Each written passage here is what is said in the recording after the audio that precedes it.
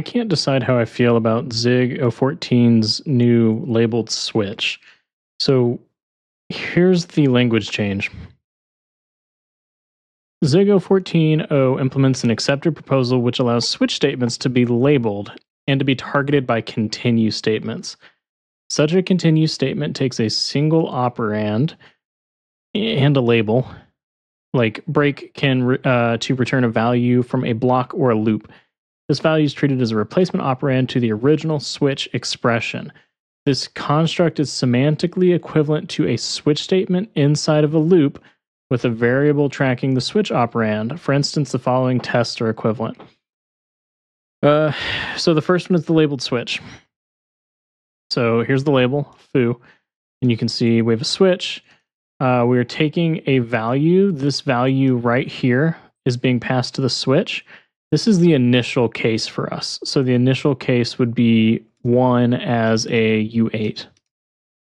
If it's a 1, then we continue the foo switch with a 2. So this 2, basically we run this switch again with 2 being the value right here that's passed into the switch. We see that 2 is a continue foo 3. So it will take this 3 and run the switch again, plugging the value in right here. On a 3, we return. On a 4, we you know have an empty block here, else unreachable. So in our case, we would return on the 3 because this is just incrementing. Um, I guess sort of a contrived example, but hopefully it drives home the point. Otherwise, we return error unexpected. This is how you would do it in Zig 013. So we have uh, an op here is what they're calling it. That's a U8. It's set to one. And then we wrap this in a loop. We say while true, switch on that op. And then we need to continue the loop. So if we have a one, which we do in the first case, we set op equal to two, and then we continue. So we're, we're mutating this variable outside of the loop. This is definitely more concise. This is neat maybe it's idiomatic.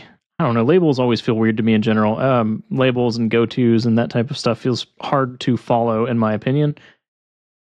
But I think the thing that really gets me the most about this, when I look at this code, it's not obvious that I'm looping over anything here. This is very obvious.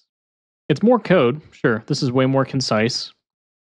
And I don't know, this may be more readable too. And maybe after I see this more and more, and I start using this in Zig and get more comfortable with it, maybe I will end up preferring this. But uh, yeah, as it stands right now, I kind of prefer the emulated labeled switch instead. What are your thoughts? I'd love to know in the comments below.